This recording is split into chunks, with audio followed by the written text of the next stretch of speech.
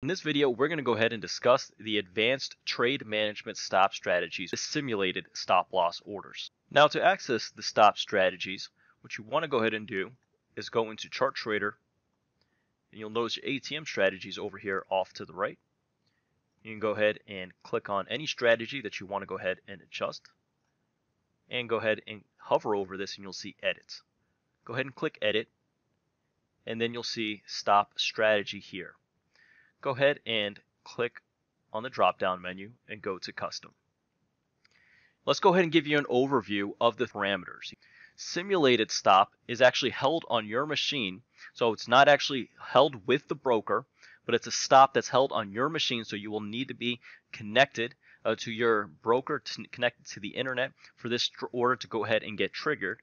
But once price goes to a certain trigger that that triggers your simulated stop, and the volume is actually increased and goes to a certain point. So let's say that you want a, and this is based on contracts traded.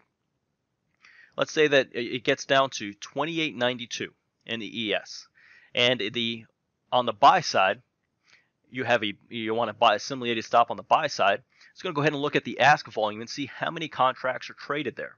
If it meets your threshold, it'll go ahead and place the stop into the market. Conversely, if you have a simulated stop on the sell side, it's going to go ahead and look at the bid volume, how many contracts are traded on the bid to go ahead and put that stop into the market for you. Now simulated stop, as I mentioned earlier, if you enable this, it will need a volume trigger of let's say 50 contracts or more. So if price comes down to a simulated stop that you place into the market, it will also need that volume trigger of 50 plus or more contracts either on the offer for a buy order or on the bid for a sell order to go ahead and be enabled. I'm going to go ahead and save this as a template again. I want to replace it, hit OK. And I have a stop strategy now for one. This yellow order represents a simulated stop here into the market. So again, this is locally held on your machine. So you'll need to be connected at all times for this to go ahead and take, an, take effect. It is not held by the